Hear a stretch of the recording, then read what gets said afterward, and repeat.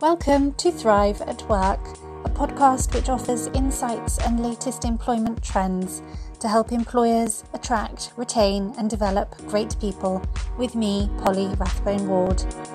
With special guests, we're going to be discussing the many and varied aspects of HR, from practical topics to overarching cultural themes. We'll be looking beyond traditional styles of management to bring new and people centred ideas to forward thinking organisations that want to shape a new future where people can thrive at work. Hello, welcome to Thrive at Work. Today, we are talking about neurodiversity and its implications for employers and within the current employment landscape.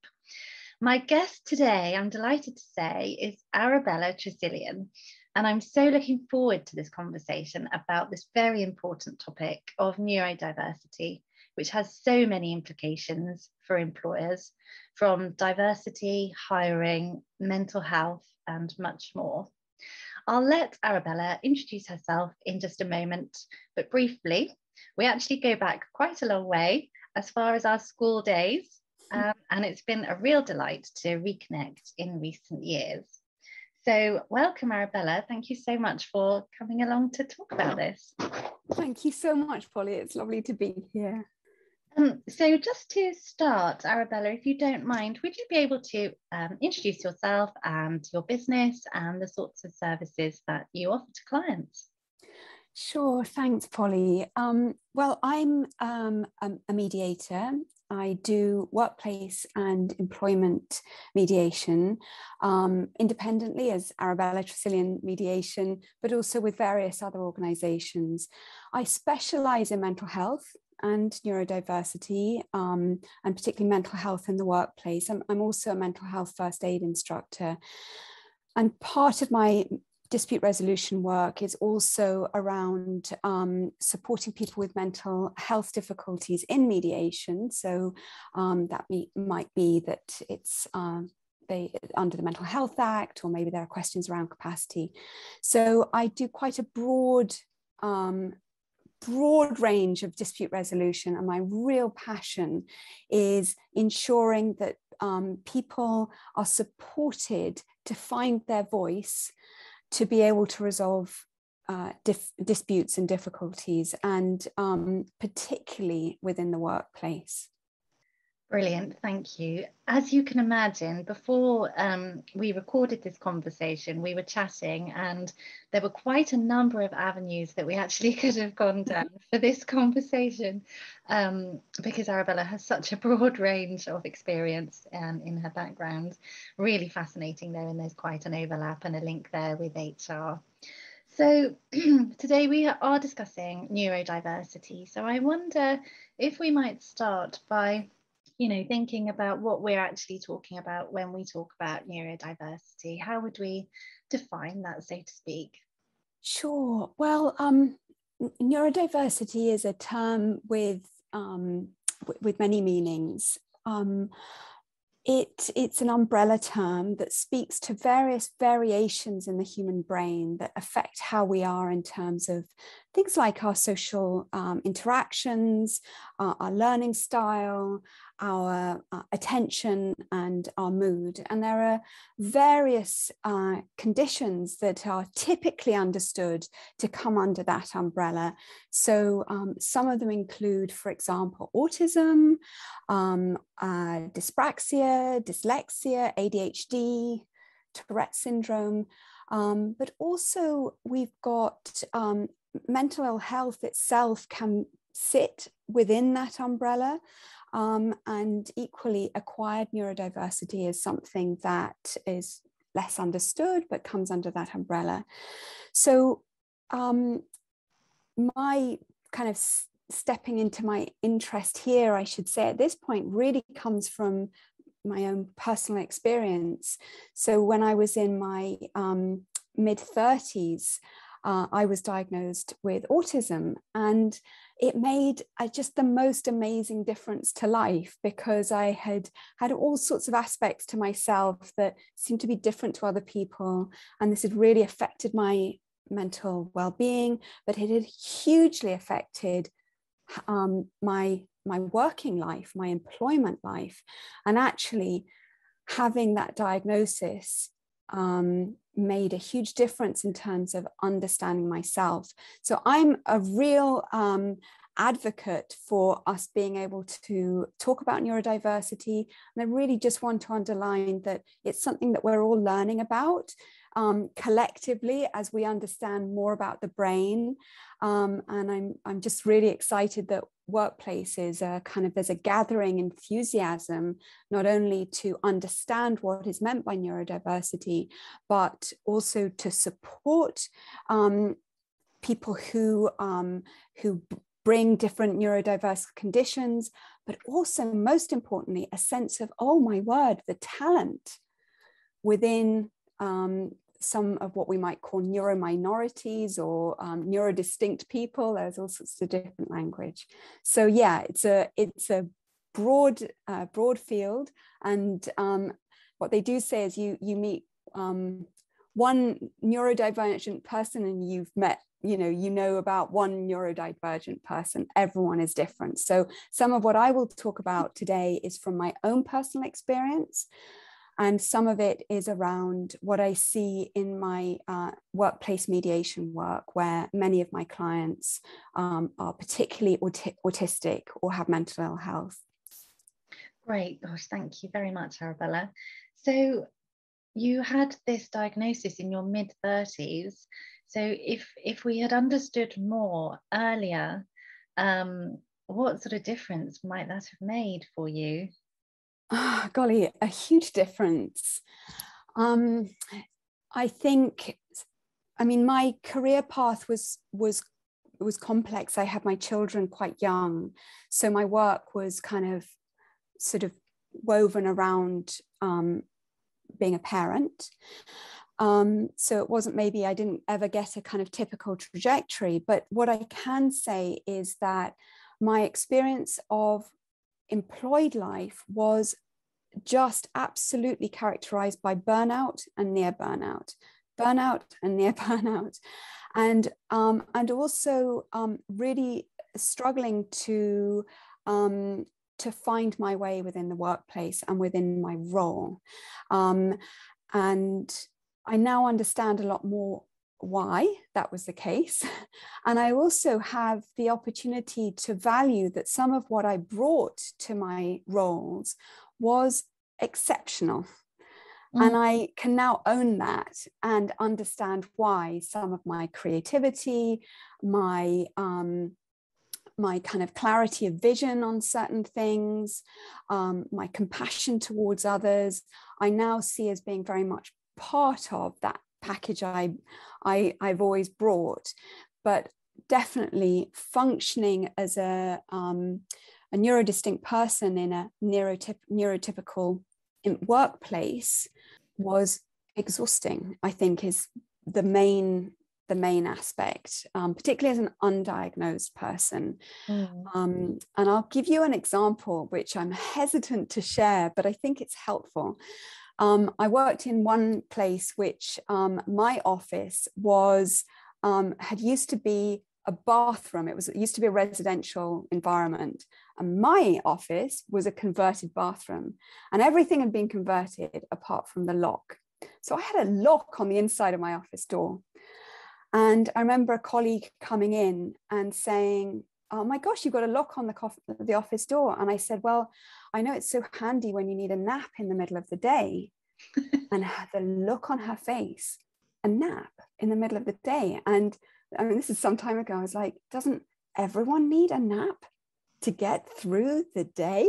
And that was a real, a real telltale sign for me that that I was you know that there was difference now that's not to say that everyone needs a nap in the middle of the day but because i was trying to function in a neurotypical way, I was exhausting myself.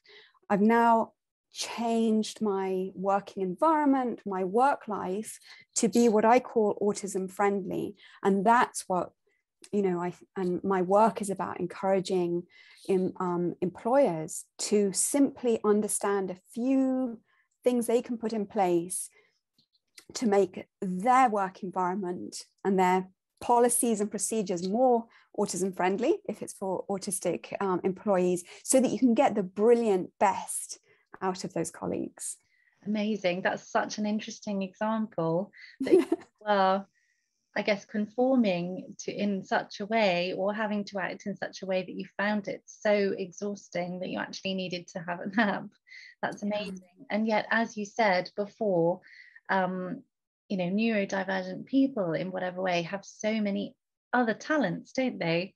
Just because they may not fit within a um, a neurotypical work working format mm. actually these different conditions if i can call it that do have so many other positives and i think we don't uh, we don't utilize that do we we don't uh, we don't we we could create a situation where we are actually utilizing those skills more. Um, so great, thank you. Yeah, I guess if we could move on to what, you know, what are the benefits of encouraging neurodiversity in the workplace?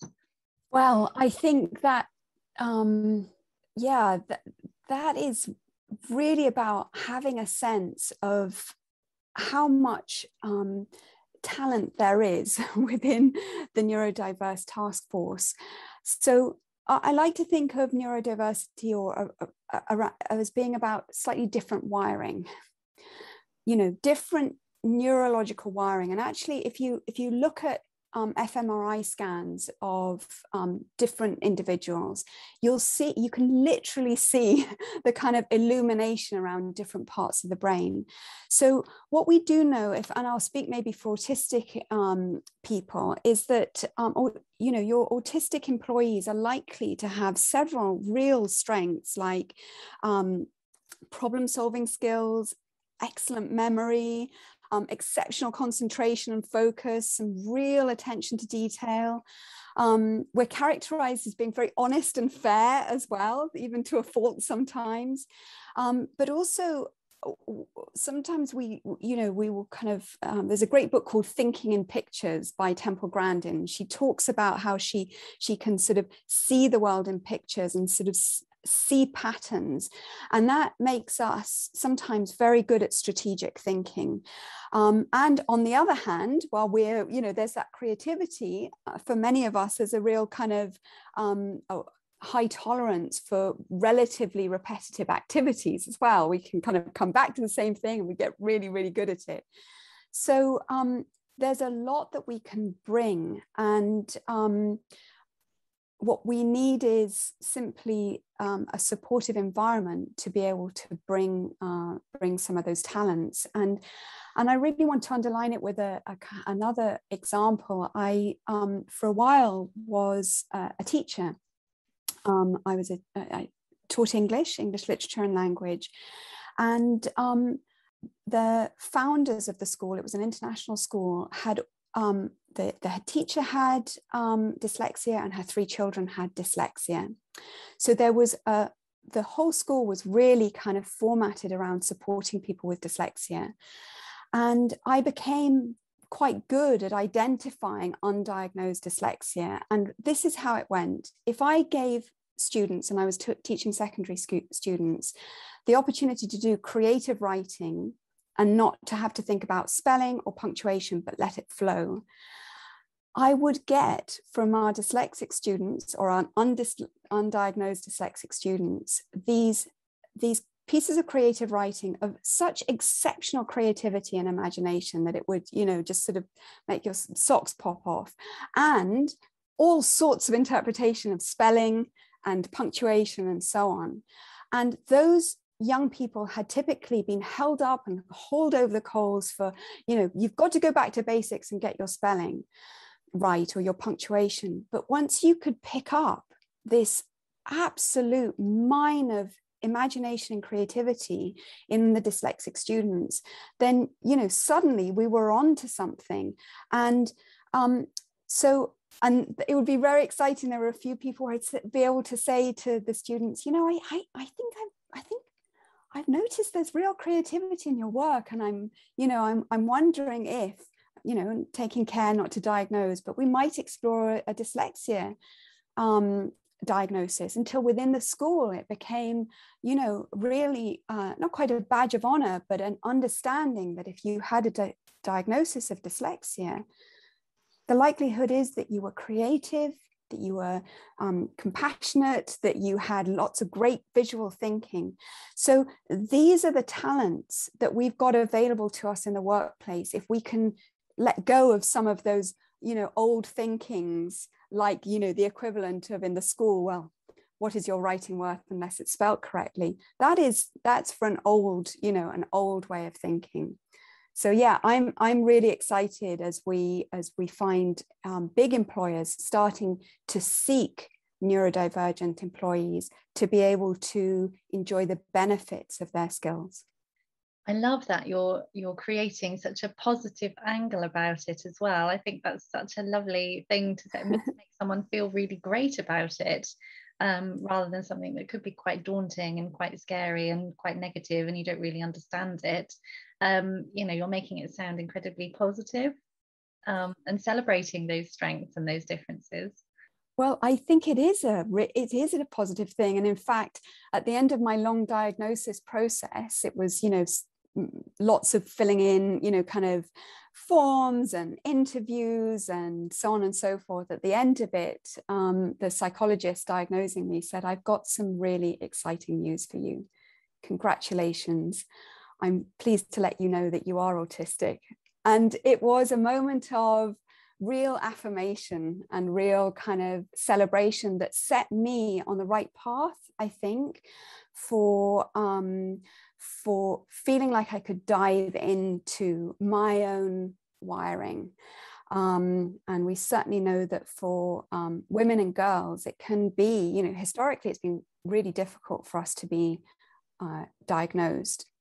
And um, because we're very, as you know, often we, we're very strong in terms of what's called masking, mm. which is the exhausting bit. Mm. So, um, so yeah it was the end of a long journey but also the beginning of um, that diagnosis was the beginning of a, um, a wonderful exploration of, around what happens if i actually work according to my own brain and can enjoy uh, the benefits of that but also understand better how to support what is going to make my system you know work to its it, it, its its best advantage. Mm, absolutely. That's amazing. Thank you. So just to give an idea of the scale of this um, do we know how many people um, you know actually have uh, neuro are neurodivergent in some way? Do we have any information about that? Yeah. Well we we know that it's um, at least uh, one in a hundred. Um, so that 1% of any large workforce is likely to be neurodivergent. But the current estimation is actually that it's one in five of the general population, which takes us to 20%. Um, so it's, um, it, it's much more prevalent than is generally understood. Um, and we do know that some 80% of any disabilities are hidden.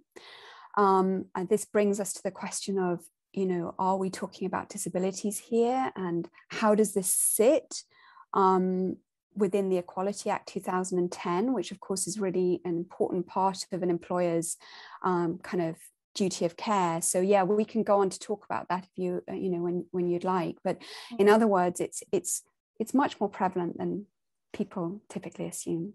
Yeah, wow, yes. Great. Okay. So, um, and is there any link between mental health and neurodiversity that we know about?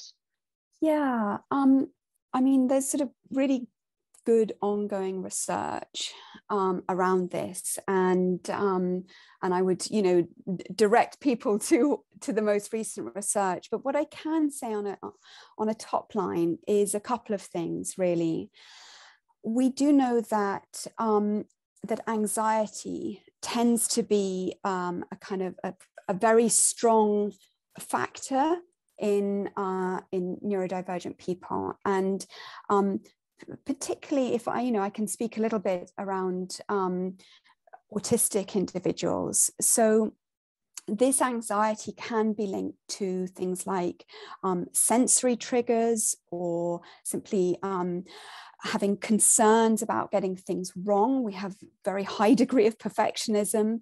Um, we have apprehension about being sort of put on the spot in a social situation. Um, we work really well with routines and familiarity. So disruption of routines can result in, in anxiety. Um, and also we, many of us will have um, kind of this effect of a kind of cocktail of emotions that we have difficulty naming.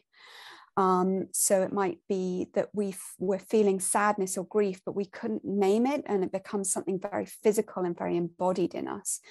Um, so that's another example of why you know why anxiety can be a thing. And and if we you know if we look at the brain, the um, the sort of the parts that deal with a sense of threat um, in our brain can be more sensitive and sensitized in autistic people.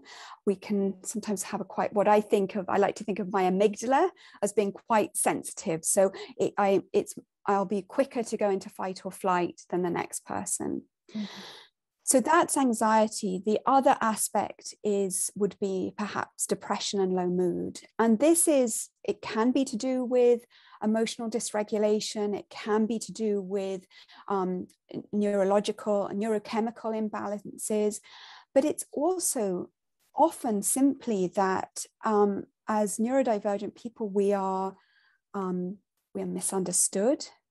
Our mannerisms are often interpreted as us being um, less intelligent or or younger than our years or um, childish um, and again, this is just misunderstanding of just just difference, and there's some prejudice that that you know that can be at play there.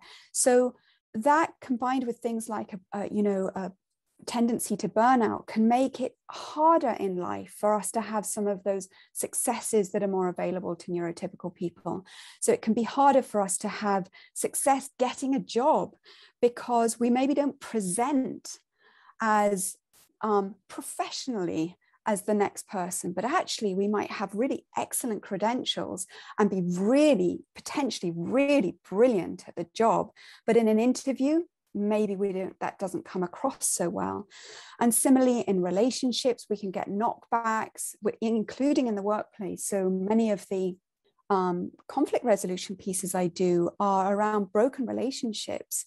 Um, um, which is really devastating. So it's kind of unsurprising that that might then result in low mood or depression as an individual struggles to meet some of their personal goals that seem much easier to attain for um, for you know neurotypical friends and, and colleagues.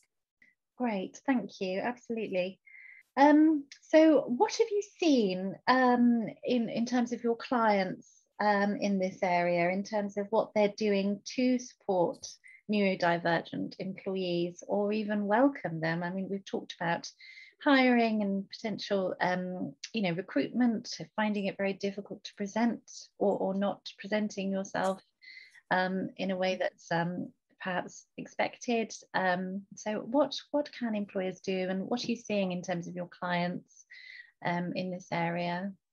So yeah, it's such a great question. Um, so the the biggest factor I see, I would say, um, and and this is particularly around autistic employees, and and I speak to that because that's an area that I have more insight on. So it's not to say that there aren't others, but where I am seeing patterns is um, often uh, there's can be a difficulty between an employee and a manager in terms of expectations, productivity, and performance.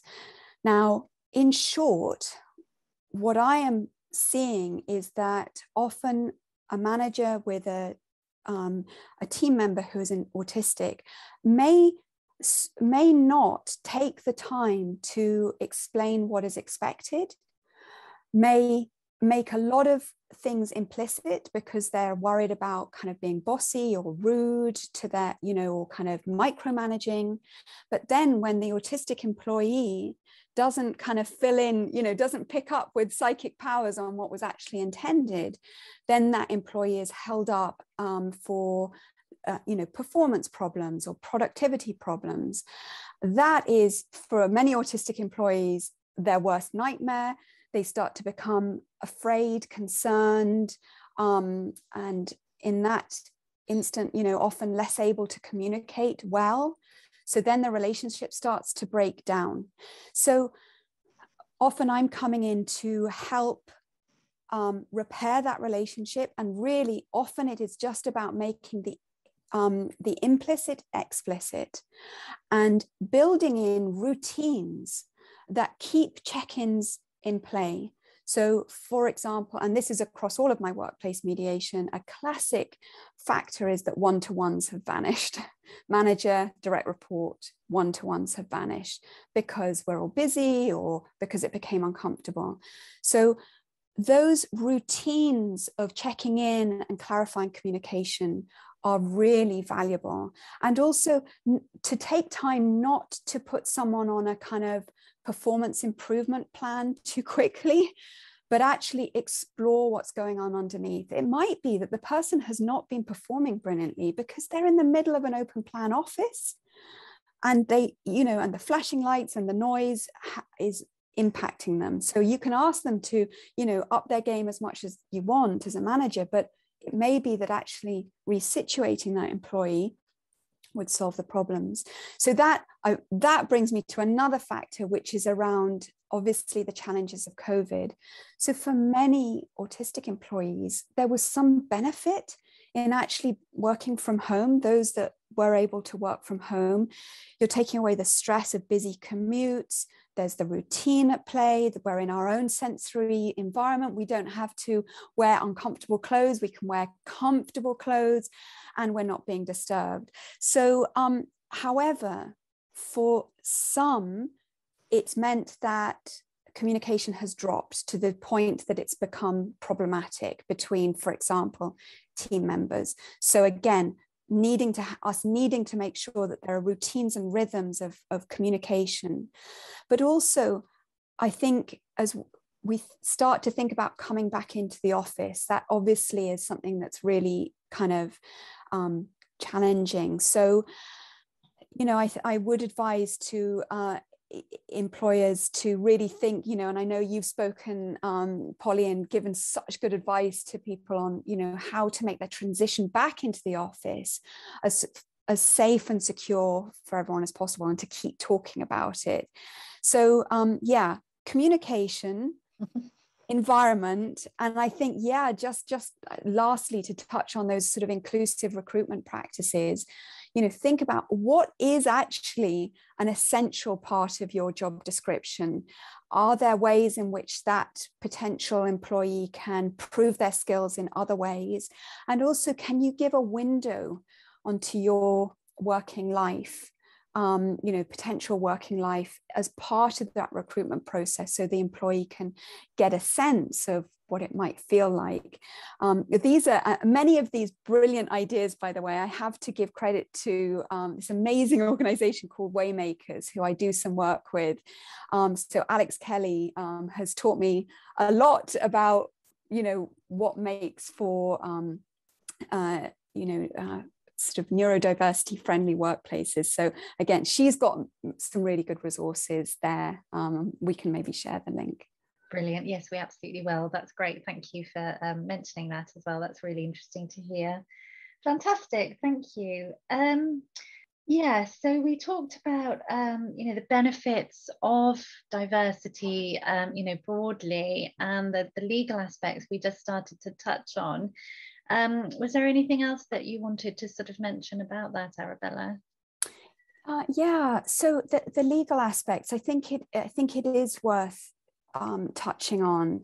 Um, obviously, the um, the um, Equality Act 2010 makes clear provision that people with disabilities um, um, might need access to reasonable adjustments.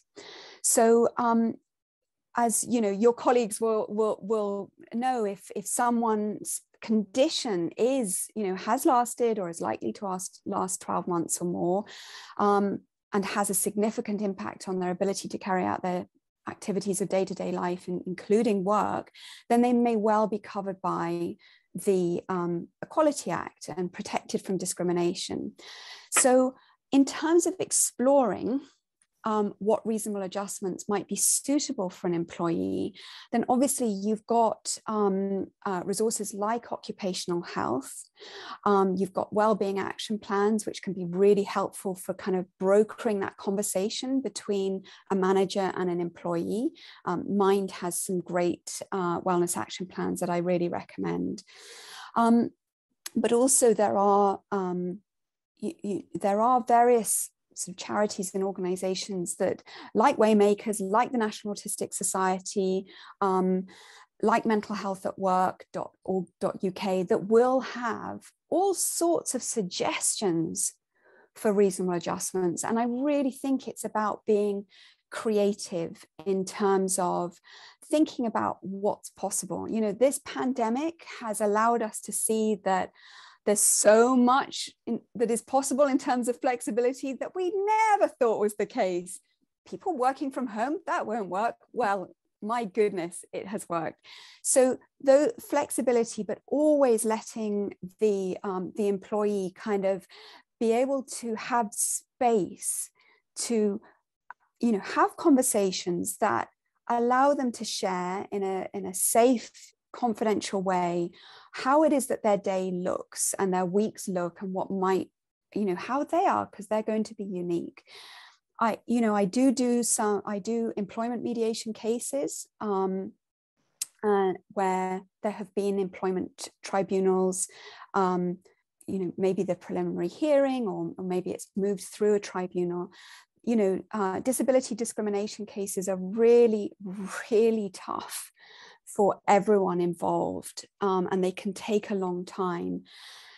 Mediation plays a really helpful role there and in fact i've just done a few cases where um, you know the judge has said please you know go back and see if you can sort sort this out in terms of mediation um, around working conditions but also around um, exit uh, agreements exit settlements. So uh, for me that's really valuable because the court rooms are really challenging for us as neurodivergent people. So, where whatever there can be to support conversations where you get that you know the kind of the win-win understanding of what works for the employer what works for the employee and always of course our managers are our kind of you know our silver bullet. So that real support and training for managers we often expect managers to understand how to kind of work with all kinds of different people but often um, they haven't had access to the training and that can just mean that they don't feel confident to ask questions around what would help you. So um, i would also recommend that um, that employers you know take the time to get some training for themselves, but particularly for managers, just to kind of do some myth busting and feel more confident around, um, around appreciating neurodiversity and being able to be practical and pragmatic to support employees. Great, thank you. I think that was a really good uh, tip, actually. So, if there were some employers out there thinking, right, I would really like to do something about this, I can see the necessity and how important this is. Um, about i wonder if you could um putting you on the spot a little bit but two or three sort of top tips arabella just to sort of where to start you know because it can be quite daunting i think for an employer to think oh my goodness you know i knew i know i need to do something about this but i'm not quite sure how or what i need to do. Do you have any mm. sort of top tips? Yes. My first top tip would be to discover um, you know who you've got within your organization who would like to share their insights and their voice into the organization becoming um, more aware of neurodiversity. That alone will allow people who are neurodivergent or who have an interest or who have a sibling or, you know, some lived experience to be able to come forward and start to, um, you know, be, be um, stirrers up of, of new thought and, and new ideas within the organization. So always start with lived experience where you can without asking people to disclose or anything like that, but invite the expertise that you already have on the ground. Then I would say start to just do some investigation. I've mentioned Waymakers, their website's really good, and they talk, uh, um, Alex Kelly writes about the autistic lens in a way that I think is um, more uh, insightful than, than many people that I've, I've come across. So just start to do, you know, to do some reading and so that you yourself can start to get the sense of, oh my gosh, this is the brain is amazing and we are all amazing and there's so much to discover here. And you can you know as an employer or a manager or ceo or um, you know head of hr start to get excited about this topic rather than in any way feeling overwhelmed or like it's just something else that you've got to do and then, thirdly, I would say bring in someone who can do some training, um, maybe someone with their own lived experience, um, who can get the conversation going so that you can start to be a kind of, you start to discover your champions within your organization. I think there is value in, you know, exploring whether employees want to kind of focus on mental health and neurodiversity collectively or whether that's something that you're big enough you'd want to look at it separately but i think they go really well together. It, this is about you know psychological well-being and valuing the the difference and the diversity within our organization. So it sits nicely within you know equality and diversity but also under talent management. Mm. um, and it also sits under you know kind of like the financial bottom line of let's have some great people really um, thriving um, within our organization. So those would be some starting points and maybe you have your own Polly so do do add I think that's amazing advice. That's fantastic advice, I think. Um, and I think it is all about culture, isn't it? The culture of the organization and doing, you know, starting with some of those tips, I think is a brilliant way to sort of open up um, the culture a little bit to to just start start having some of those conversations and being more aware of it and also being open to the understanding of it. And um, you know and I love the way you speak so positively about it all. It's really encouraging. Brilliant. We are coming up to the end of um, our time. I can't believe it. It's blown by. Um, just lastly, Arabella, if you wouldn't mind, um, if people would like to get in touch with you or carry on the conversation with you, how can people get in touch with you?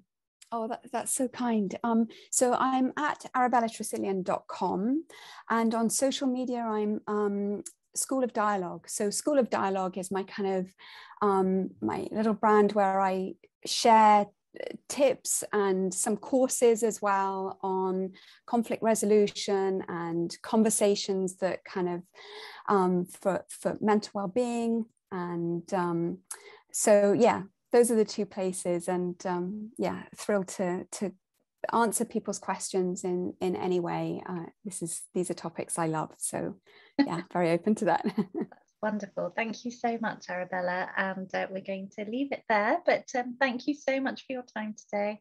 Thanks, Polly. Thanks for having me. It's been really nice.